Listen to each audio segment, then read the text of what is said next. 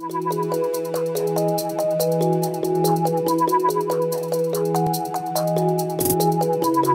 name is Devonne Wilhoit, and I work for the American Transmission Company. So my professional background is steeped in the information technology field.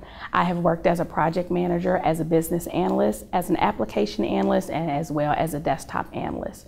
My current role is a business systems liaison where I bridge the gap between our IT department and our business.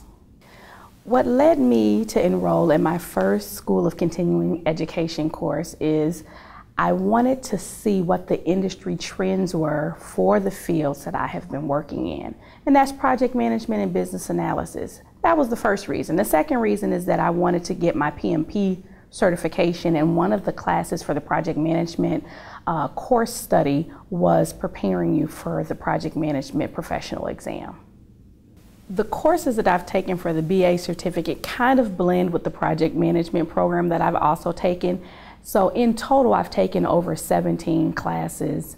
The, the critical thinking class was paramount in my life, even in my personal life.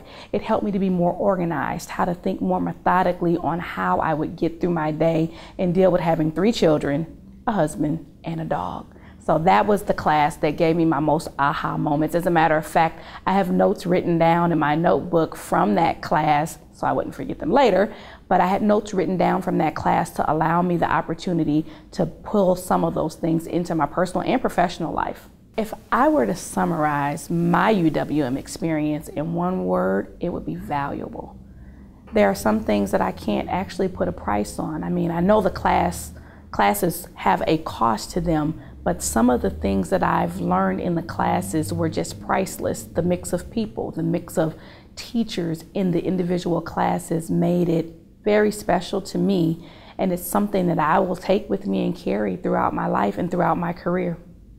My definition for lifelong learning is being a doer of the words that I've heard and the things that I've learned throughout the classes that I've taken to not just hear them when I'm sitting in class, but to actually take concepts and implement them in my professional and personal life.